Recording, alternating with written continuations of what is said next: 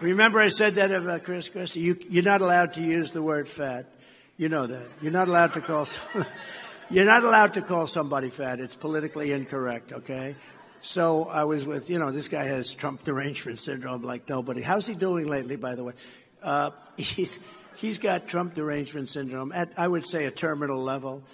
And some guy, some guy shouts out in the audience, "He's a fat pig," but nobody heard him. He was very quiet.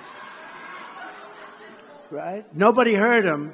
He was in the front row. He said, "Sir, he's a fat pig," and I said, "Okay, listen." You, stand up, please. The guy stands up, big, strong guy. I said, You cannot call Chris Christie a fat pig. You, just don't do that. You can call him a pig, but not a fat pig. You're not allowed to use. So never, please, i am going to have to have you removed from this room. You cannot call him a fat pig.